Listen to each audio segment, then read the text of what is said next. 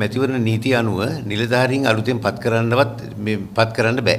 ඒ ඒක මේකට බලපාන්නේ මොකද හේතුව මහජන පරමාධිපත්‍ය ක්‍රියාත්මක කරන අධිකරණය දැන් තීන්දුවක් දීලා තියෙනවා. නොප්මා පත් කරන්න කියලා. විධායකය අධිකරණයෙන් කියපු දේ විධායකය දැන් කල් අරින්න මාස සති දෙකක් හරි දවස් දෙකක් හරි කල් ගන්නවා කියලා තියෙනවා. නමුත් අධිකරණ තීන්දුවක් වයිලේට් කරන්න බෑ. ඒක ක්‍රියාත්මක වෙන්න ඕන. එතකොට එනවා බාධාවක් නිලධාරීන් පත් කරන්න පුළුවන්ද බැරිද කියන කතාව.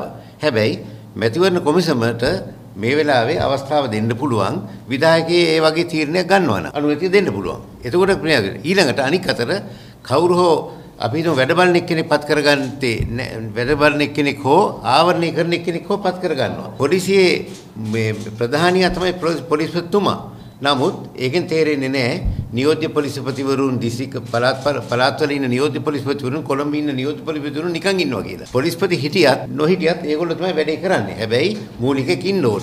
ඉතින් මූලිකෙක් ඉඳීම ගැන අධිකරණයෙන් තීන්දුවක් දීලා තියෙනවා. විධායකයෙක් කල්ලරින දවස් දෙකක් කටයුතු කරන්න ඉඩ තියෙනවා. ඒ වගේම මේ පොලිස් කොමිෂන් සභාවට හෙට ඉඳන් බලය ලැබෙනවා ප්‍රතිකාශ පත් කරපු වෙලාවෙ ඉඳන් ඒ වෙලාවේ අපි නු අධිකරණ තීන්දුව ක්‍රියාත්මක කරන්නේ කොහොමද කිව්වම මැතිවරණ කොමිෂන් සභාව තීන්දුවක් දෙයි. ඒක අපි මෙතෙන් දැන් නිගමනය කරන එක නොයුතුයි.